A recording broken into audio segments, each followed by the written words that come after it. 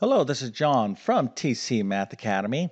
And in this particular video, we're going to talk about a super common math mistake. And of course, you want to avoid this error or avoid making this error.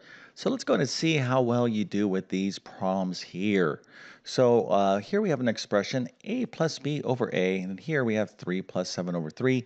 Go ahead and simplify each of these and go ahead and put your answer into the comment section.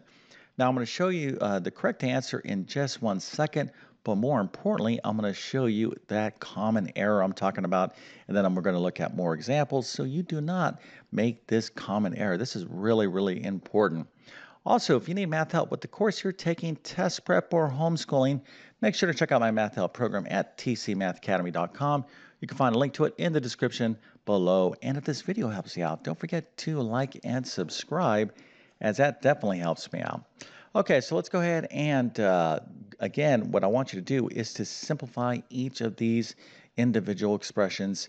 And when I talk about simplify, you know, let's just look at a real easy example. If I have the fraction 10 over 30, you can reduce that fraction to one third. Right? We want to write things in their simplest terms. So again, if you can simplify this and simplify this, I'm looking for the answer for these two expressions being simpl uh, simplified. Let's go ahead and take a look at the answer right now.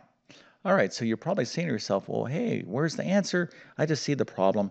Well, I'm going to go ahead and do something right now. So let's take this a plus b over a, and I'm like, oh, I got this a here, I got this a here. So the answer here would be b. And likewise, I got 3 plus 7 over 3. Oh, I got two threes here, so my answer is going to be 7. All right, so how many of you um, put uh, B and 7 as your answer. Okay, well, if you were able to do this problem and this was your answer, unfortunately, got to give you a little sad face because that is incorrect. Hopefully, you didn't make that mistake, but if you did, especially on this uh, uh, problem over here, uh, you are in good company because I would say almost all students uh, that I've been teaching for decades will make this error sometime in their math adventures. Okay, so don't feel so bad about this. And we're going to talk about why this is such a common error. Now, if you look um, at, well, first of all, let's just go ahead and answer the question uh, can we simplify this expression? And the answer is no. Okay, this is as simple as it can get, and that'll be uh, very clear if I put some parentheses around it. There's nothing I can do here. It's, this is written as simple as it could be in algebra. But here I got 3 plus 7 over 3. Well, 3 plus 7 the last time I checked is 10. 10 divided by 3, well, that's a simpler way of writing 3 plus 7. So here, 10 divided by 3, if I cross canceled those 3's like this and I had 7, is 7 the same thing as 10 divided by 3? Well, obviously not. Okay, so hopefully you caught yourself there. But uh, anyways, don't feel so bad, again, if you made this error. Okay, let's take a look at a couple examples. Uh, by the way, again, with this particular problem here, if you were going to simplify it, this would be a better um, answer than just leaving it as 3 plus 7 uh, over 3. All right, so again, uh, this is something you want to avoid, but let's take a look at some examples in algebra uh, that, you know, when students are working with uh, various terms, you know, there's variables going on, a big part of what you're trying to do in algebra is simplify things. And uh, oftentimes you have to factor stuff and you got to reduce things down. You got to write, you know, things in their simpler form. And it can get confusing, all right? And this, let's take a situation like this here. I have 3x squared plus x minus 9 over 3x squared.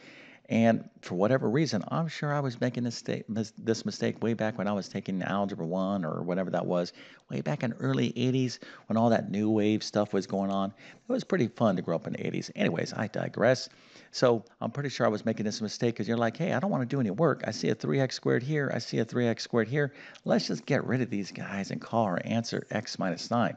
Well, there could be nothing uh, more wrong about doing this procedure. This is wrong. It seems like I mean it, it's uh, it would be great if it wasn't because I'm like, oh, I got this. I could just take this and cross cancel with that, and here is the answer. But people are conf um, confusing uh, this, doing this with something else, and we're going to talk about that uh, something else right now. Okay, so when can you cross cancel things in mathematics?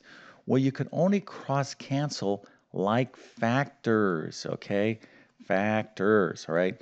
So here is what a factor is, and here uh, is what a factor is not. So let's take a look at some numbers here. So let's say I have 10, okay? So 10 is the same thing as 9 plus 1, okay? But 10 is also equal to 2 times 5. So 2 and 5 are factors of 10. 2 and 5's 2 and 5 are factors of 10 because the product of 2 and 5 is 10. So specifically, factors involve multiplication. These are numbers that um, are being separated by multiplication very, very specifically. So 9 plus 1 is 10. These are not factors. 9 and 1 are not factors of 10. Now, technically, 1 is a factor of 10, but you don't think as uh, numbers being separated by addition or subtraction. These numbers, th those numbers there are not factors, okay? You can only cross cancel like factors, things that, again, are separated uh, by multiplication, and the product of these various numbers um, is this number, okay? And you can have all different sorts of numbers, like, say, 20 you can have more. 20 is the same thing as 4 times 5, so fa uh, factors of 20 is 4 and 5, but factors of 20 is also 2 times 2 times 5 as well. So here's three factors. These are what we call uh, prime factors of 20, but again, numbers being separated by multiplication, okay? So let's go back real quick before I show you uh, some examples where we can cross cancel here, let's go back over here and I'll write it in my 3x squared again. So I have 3x squared plus x minus 9.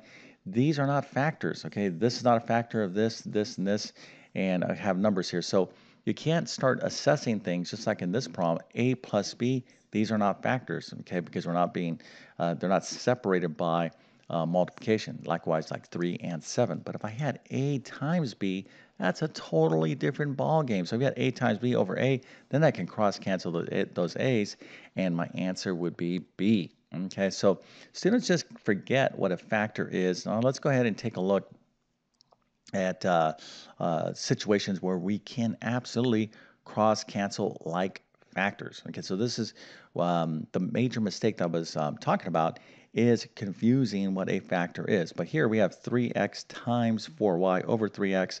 So I have a factor, this um, like factors, I have one factor in the numerator that's the exact same thing as uh, the, we have that same factor in the denominator. So I can cross cancel one from one and whatever's left over is a simplified version of it. So let's take a look at this example. 5 times 2x minus 1 over 5 well, 5, this is 5 times this factor. Okay, so this is 5 times this, this and this. This is a factor of what? Well, if we multiply this back in, I'm going to get 10x minus 5. Okay, so if I factored, okay, the greatest common factor out of 10x minus 5, I would end up with 5 times uh, this quantity, 2x minus 1 over 5. And you want to factor because you're looking for like factors. 5 and 5 are like factors. I can cross cancel one 5 for another 5, and you're left with 2x minus 1.